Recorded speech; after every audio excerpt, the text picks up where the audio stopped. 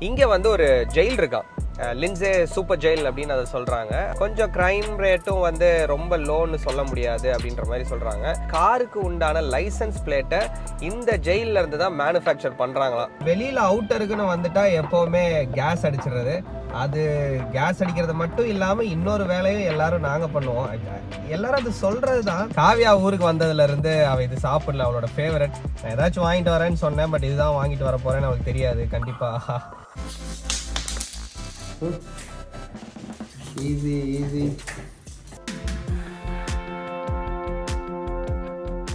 சரியான வெயில் இன்னைக்கு. Twenty six degree Celsius but செம்ம வெயில் அடிக்கிற மாதிரி ஒரு ஃபீல் பயங்கர ஹாட்டாக இருக்குது இன்றைக்கி ஒர்க் முடிஞ்சது. அதாவது என்னோடய ஆஃபீஸ் வேலையெல்லாம் முடிஞ்சிருச்சு. லென்ஸேல நான் உங்கள்கிட்ட சில விஷயம்லாம் சொன்னேன். அதில் சில விஷயங்கள்லாம் நான் வாபஸ் வாங்கிக்க போகிறேன் ஏன்னா இங்கே வந்தப்போ நான் சிலருக்குலாம் பேசினேன். பேசினப்போ சில இன்ஃபர்மேஷன்லாம் கேதர் பண்ணேன். லென்ஸே பற்றி லென்ஸே நான் சொன்னேன் இல்லையா மேபி சீப்பாக வீடு வாங்கணும்னு நினச்சிங்கன்னா இந்த ஏரியா உங்களுக்கு மேபி பிடிச்சிருக்கலாம் அப்படின்னு சொல்லிட்டு இங்கே சில நெகட்டிவ்ஸ் இருக்குது அதையும் நான் உங்கள் கூட ஷேர் பண்ணிடுறேன். அதுக்கப்புறம் நீங்கள் மேபி ஐயையோ லென்ஸேவா நான் வீடு வாங்க மாட்டேன்ப்பா அப்படின்னு சொல்கிறது கூட வாய்ப்பு இருக்குது என்ன மேட்டர்னா இங்கே வந்து ஒரு ஜெயில் இருக்கான் லின்சே சூப்பர் ஜெயில் அப்படின்னு அதை சொல்கிறாங்க அது வந்து ஒரு மீடியம் சைஸ் ஜெயில் ஒரு ஆயிரத்தி இரநூறு இன்மேட்ஸ் கிட்ட இருக்காங்க. ஆயிரத்தி ஐநூறு இரநூறு மேல் பிரிசனர்ஸ் கிட்ட இருக்காங்க. ஸோ அவங்களோட ஃபேமிலிஸ் நிறைய பேர் இந்த சுற்றி தான் தங்கியிருக்காங்க அப்படின்றாங்க. ஏன்னா அவங்கள விசிட் பண்ணுறதுக்குலாம் ரொம்ப ஈஸியாக இருக்கும் அப்படின்றனால அவங்க ஃபேமிலிஸ் எல்லாம் இங்கே நிறைய பேர் லின்சேல தங்கியிருக்காங்க. அப்புறம் அவங்க ரிலீஸ் ஆகி வந்ததுக்கு அப்புறமும் என்ன ஆகுதுன்னா அவங்களும் இங்கேயே தங்கிடுறாங்க. ஏன்னா அவங்க ஃபேமிலிலாம் இங்கேயே இருக்குது இதுக்கப்புறம் எதுக்கு டொரண்டோக்கு போய்கிட்டு அப்படின்னு இங்கேயே தங்குறனால கொஞ்சம் க்ரைம் ரேட்டும் வந்து ரொம்ப லோன்னு சொல்ல முடியாது அப்படின்ற மாதிரி சொல்கிறாங்க அப்புறம் இங்கே ஓவராலாக லின்சேவை சுற்றி அன்எம்ப்ளாய்மெண்ட் ரேட் வந்து ரொம்ப கூட. டுவெண்ட்டி பர்சன்ட் கிட்ட அன்எம்ப்ளாய்மெண்ட் ரேட் இருக்கான் அதுக்கு ரீசன் என்ன சொல்கிறாங்க அப்படின்னா நிறைய ரிட்டையர்ட் பீப்புள் வந்து லின்சேல தங்குறதுக்கு அப்பிரியப்பட்டு இங்கே வராங்களாம்.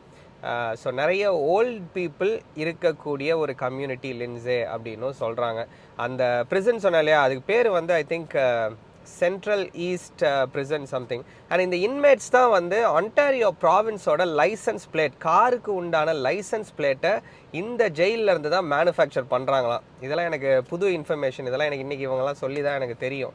ஸோ அதனால யூனோ வீடு வாங்கணும் இந்த மாதிரி ஒரு ஊரில் வந்து செட்டில் ஆகணும் அப்படின்னு நம்ம யோசித்தோம் அப்படின்னா எஸ் ப்ராப்பர்ட்டி ப்ரைஸ் சீப்பாக இருக்கலாம் பட் இருக்கிற நெகட்டிவ்ஸும் நம்ம கொஞ்சம் யோசிச்சு பார்க்கணும்ல. ஸோ அதனால தான் இதையும் உங்ககிட்ட ஷேர் பண்ணுறேன் என்னப்பா இதெல்லாம் நீ சொல்லவே இல்லை அப்படின்னு நீங்கள் சொல்லக்கூடாதுல்ல அவ்வளோதான் ஸோ இங்கே எனக்கு ஒர்க் முடிஞ்சுது.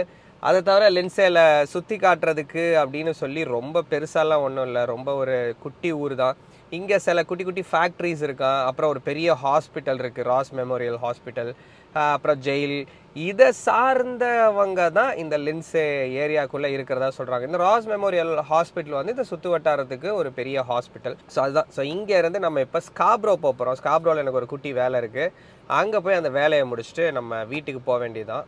வீட்டுக்கு டேரெக்டாக போகிறோமான்னு தெரியல. மேபி ஏதாவது ஷாப்பிங் இருந்துச்சுன்னா காவியாட்ட பேசிட்டு போகணும். இன்கேஸ் ஏதாவது வாங்கணும்னா வாங்கிட்டு போகலாம். ஸோ முதல்ல இங்கேருந்து போவோம். அப்படியே நான் இந்த டிரைவோட வீடியோவும் உங்களுக்கு உங்கள் கூட ஷேர் பண்ணுறேன்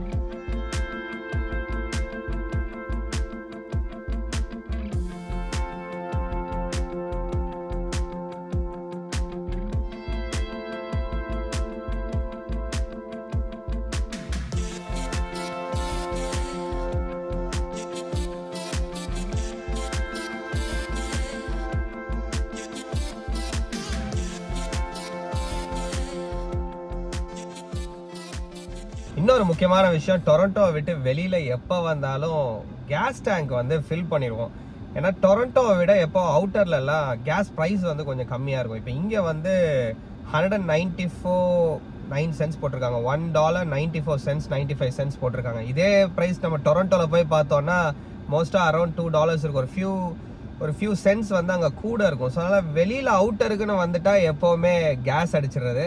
அது கேஸ் அடிக்கிறது மட்டும் இல்லாமல் இன்னொரு வேலையும் எல்லாரும் நாங்கள் பண்ணுவோம். எல்லாரும் அது சொல்கிறது தான் அது என்னன்னு நான் கேஸ் அடிச்சுட்டு வந்து நான் உங்ககிட்ட அது சொல்கிறேன்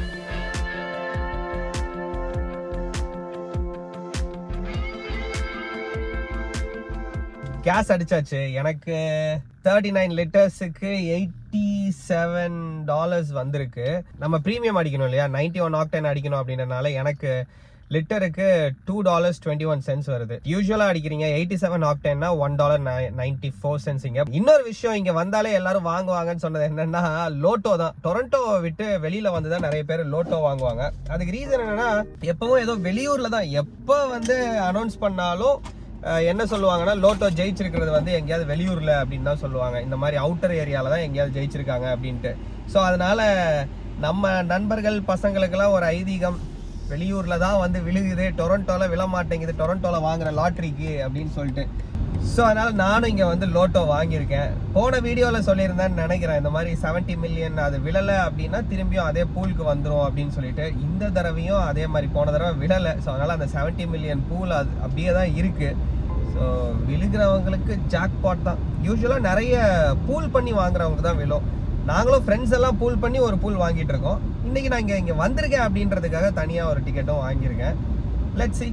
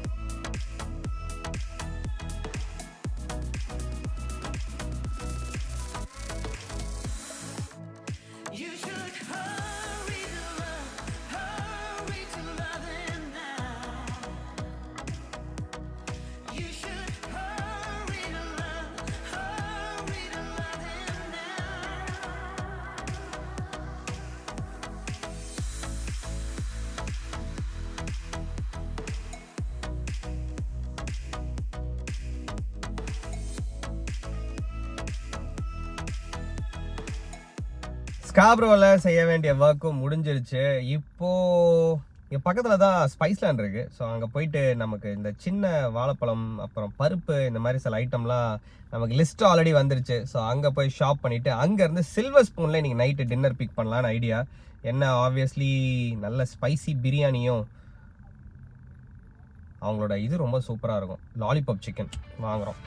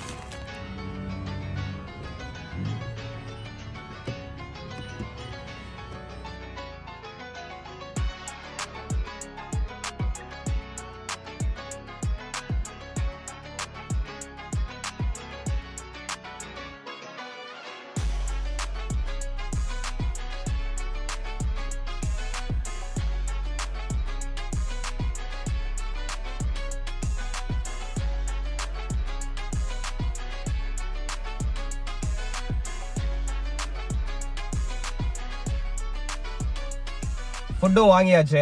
ரெண்டு சிக்கன் பிரியாணி சொன்னேன். ஆக்சுவலாக இங்கே ஸ்பைசி சிக்கன் பிரியாணின்னு கேட்டு வாங்குங்க. சில்வர் ஸ்பூனில் ரொம்ப டேஸ்ட்டாக இருக்கும். ரெண்டு ஸ்பைசி சிக்கன் பிரியாணி இல்லை. ஸோ அதனால் ஒரு ஸ்பைசி சிக்கன் பிரியாணியும் ஒரு ரெகுலர் பிரியாணியும் சொன்னேன். அப்புறம் லேம் கராஹி எப்போவுமே நான் சொல்கிற டிஷ் அது இல்லாமல் ஒரு பவுண்டுக்கு லாலிபாப் சிக்கன் வாங்கியிருக்கேன்.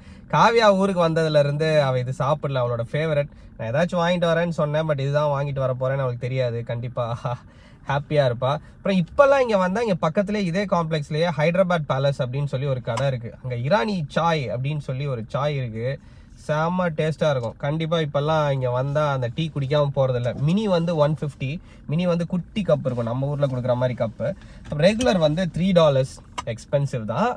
பட் டேஸ்ட்டு சூப்பராக இருக்கும். ஸோ இதை குடிச்சிக்கிட்டே நம்ம வீட்டுக்கு போக போகிறோம் it's going to be a long drive ஏன்னா டிராஃபிக்காக இருக்கும் இந்த நேரம். சிக்ஸ் ஃபார்ட்டி லெட்ஸி பட் போய் தானே ஆகணும். ரவுடி வேற வீட்டில் ரெட்டியாக இருக்கானா நம்மளை பார்க்கறதுக்காக எந்த கார் வந்தாலும் நான் வந்துட்டேனா வந்துட்டேனான்னு ஓடி ஓடி வந்து பார்த்துக்கிட்டு இருக்கானா. ஸோ அதனால் குயிக்காக வீட்டுக்கு போய் நம்ம குட்டீஸ் எல்லாம் மீட் பண்ணுவோம்.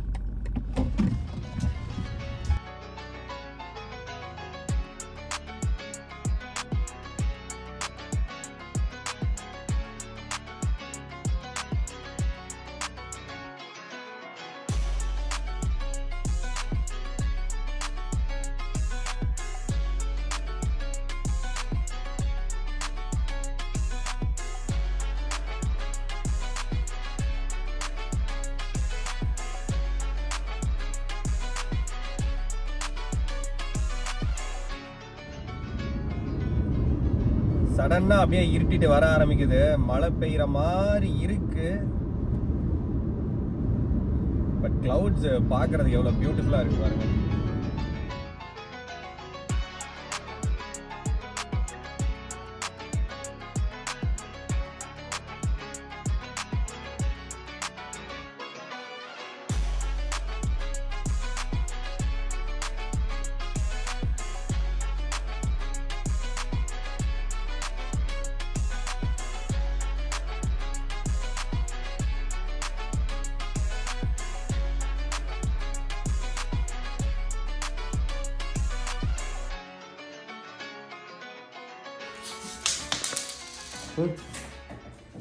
ஈஸி ஈஸி ம் ஓகே ஓகே சரி சரி.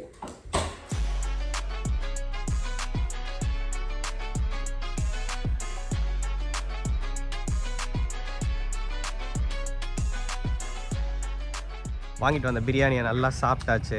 சாப்பிட்டுட்டு டிஷ்ஷெல்லாம் வாஷ் பண்ணிவிட்டு அப்புறம் கிச்சன்லாம் கொஞ்சம் ஒதுங்க வைக்காமல் இருந்துச்சு. ஒரு டூ த்ரீ டேஸாக அதெல்லாம் கிச்சன்லாம் ஒதுங்க வச்சுட்டு இப்போ லாஸ்ட் அண்ட் ஃபைனல் வேலையா நம்ம ரவுடி என்னென்னா வாக்கிங் கூப்பிட்டு வந்திருக்கேன். இன்றைக்கி செய்யணும்னு பிளான் பண்ணி வச்சுருந்த எல்லா வேலையும் செஞ்சு முடிச்சாச்சு. ஒரு செம்ம ப்ரொடக்டிவ் டே தான். ஆல்மோஸ்ட் மணி நைட்டு நைன் ஓ கிளாக் ஆச்சு. வெதர் ரொம்ப பியூட்டிஃபுல்லாக இருக்குது நான் எதுக்கு வந்து ஸ்வெட்டர் போட்டு வந்திருக்கேனே தெரில இதுக்கப்புறம் வீட்டுக்கு போயிட்டு இனிமேல் தான் வீடியோ வேலைகள்லாம் இருக்குது ஆல்ரெடி எடிட் பண்ண வீடியோலாம் கொஞ்சம் ரிவ்யூ பண்ணி சேஞ்சஸ் கரெக்ஷன்ஸ் எல்லாம் பார்த்துட்டு அப்புறம் தம்நெயில் வேலையெல்லாம் இருக்குது ஸோ அதெல்லாம் போயிட்டு வீட்டில் ஒரு half an hour half an hour சொல்ல முடியாது. ஒன் டு டூ ஹவர்ஸ் வேலை இருக்கும். அதுக்கப்புறம் ஒரு ten to eleven o'clock போல் தூங்க போகிறோம் ஸோ அதுதான். ஸோ அகேன் இன்றைக்கி ஒரு செம்ம ப்ரொடக்டிவான டே நிறைய வேலை நடந்திருக்கு. நீங்களே பார்த்துருப்பீங்க. ஸோ இந்த வீடியோவோட உங்களோட தாட்ஸை கமெண்ட் செக்ஷனில் சொல்லுங்கள் அடுத்த வீடியோவில் பார்ப்போம். Thank you bye